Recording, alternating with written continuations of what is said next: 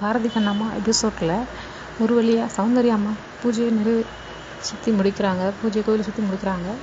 அந்த டைமில் கரெக்டாக பாரதியும் வர்றாரு. வந்தோடனையும் ஐயர் பூஜை நல்லபடியாக முடிஞ்சதுமா?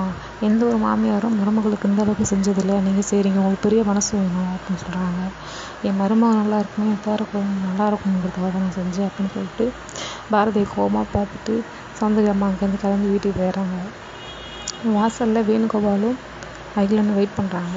கோவமாக இருக்காங்க. பாரதி மேலே பாரதி வீட்டுக்கு வர்றாரு வந்தோடனே என்ன பாரதி இப்படிலாம் பண்ணுற போகிற வரேன்னு சொல்லிட்டு கேட்குறாங்க எல்லாம் முன்னாடி ஒன்று செய்ய வேண்டிய நீயே இப்படி வந்து ஓரமாக நிற்கிறியே உனக்கே தெரியும் கண்ணம்மாவா சௌந்தர்யா எப்படிலாம் திட்டுவா பண்ணுவான்ட்டு.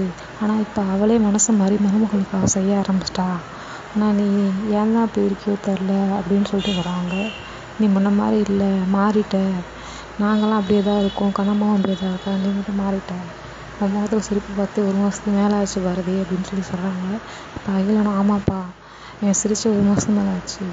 இவனும் கண்ணம்மாண்டியும் லவ்ஸை பார்த்தாவே எனக்கே பொறாமையாக இருக்கும். அந்த அளவுக்கு இதாக இருப்பாங்க. ஆனால் இப்போ ஏன் தான் இப்படி பண்ணுறானே தெரில அப்படின்னு சொல்கிறாங்க டக்குன்னு அறிவு வராங்க. அறிவு வந்து சௌந்தர்யா அம்மாவுக்கு உடம்பு சொல்ல ரொம்ப காய்ச்சலாக இருக்குது அப்படின்னு சொல்லி சொல்கிறாங்க எல்லாம் வேகமாக கிளம்பி போகிறாங்க சந்தரி அம்மா காய்ச்சலில் ஒரு குழுவில் நின்றுட்டு இருக்காங்க அம்மா என்னாச்சு? உடனே அறிவு போய் அந்த மாத்திரை இன்ஜெக்ஷன்லாம் எடுத்துகிட்டு வா அப்படின்ற மாதிரி சொல்கிறாரு பாரதி. இல்லை அதெல்லாம் ஒன்றும் தேவையில்ல. எனக்கு இந்த டாக்டர் வேணாம். எனக்கு எந்த டாக்டரை பார்க்கணும்? எனக்கு நல்லா தெரியும். இவங்க ஒன்றும் பார்க்க வேணாம் அப்படின்ற மாதிரி சொல்கிறாங்க இது என்னம்மா?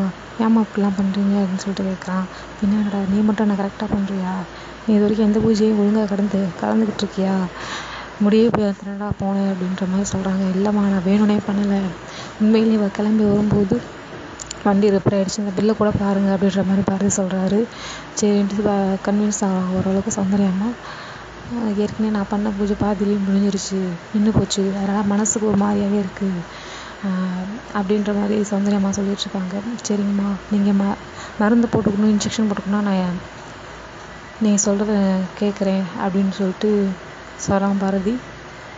அப்புறம் ஒரு கண்டிஷன் இருக்குது பாதியிலே நின்ன பூஜையே மனசுக்கு உறுத்தலாக இருக்குது அந்த பூஜை நீ தான் செஞ்சு முடிக்கணும் அப்படின்னு சொல்லிட்டு சௌந்தர்யம்மா சொல்கிறாங்க சரிம்மா நான் முடிக்கிறேன் அப்படின்னு சொல்லிட்டு பாரதி சம்பாதிச்சிடாரு ஆனால் வெளியே பால்கனியில் வெளியே கோவமாக உட்காந்துருக்கார் கார்டனில் இந்த டைமில் கண்ணம்மா ஸ்டெப்ஸில் உட்காந்துருக்காங்க பார்த்து திட்டுறாரு. எல்லா பிரச்சனையும் காரணம் நீ தாண்டி எங்கள் அம்மா கஷ்டப்படுறது காரணம் நீ தாண்டி நல்ல மாதிரி நடிக்கிறியாடி அப்படின்னு சொல்லிட்டு திட்டிக்கிட்டே இருக்காரு. உன்னோட உன்னை பற்றின உண்மையெல்லாம் வெளியே வந்துச்சுன்னா ஊர்வலமே உன்னை காரி துப்போம் அப்படின்ற மாதிரி சொல்கிறாரு டக்குன்னு கண்ணம்மா ஏந்திரிச்சு வந்து என்ன அம்மா நான் தப்பு பண்ணேன்? என்ன உண்மை என்னை பற்றி எல்லாம் ஊர்வலம் தெரிஞ்சு காரி துப்போம் அப்படின்னு நான் பண்ணிட்டேன் அப்படின்ற மாதிரி அவங்க சொல்கிறாங்க நீ பண்ணது உண்மையை சொல்லவா? அப்படின்றாங்க சொல்லுவாம்மா உனக்கு உண்மையை தெரியாதா? அப்படின்னு நான் சத்தியமே எனக்கு தெரியாதும்மா அந்த குழந்தை மேலே சத்தியப்பாங்க நம்ம என்ன தான் பிரச்சனை அந்த குழந்தை தாண்டி பிரச்சனை. குழந்தை மேலே பிரச்சனையா? அப்போ எதுனாலும் எதனாலும் தெரியுமா உண்மையை சொல்லுங்க அப்படின்ற மாதிரி கண்ணம்மா சொல்கிறாங்க அந்த குழந்தை என்னோடதே கிடையாது. சொல்லவா? இந்த குழந்தை யாரோட குழந்தைன்னு சொல்லவா? அப்படின்னு சொல்லிட்டு பாரதி சொல்கிறாரு வருணோட குழந்தை அப்படின்னு சொல்லிட்டு சொல்கிறாரு அதோட இன்னையோட எபிசோட் முடியுது. தேங்க்யூ ஆன் வாட்சிங் ப்ளீஸ் சப்ஸ்கிரைப் மை சேனல்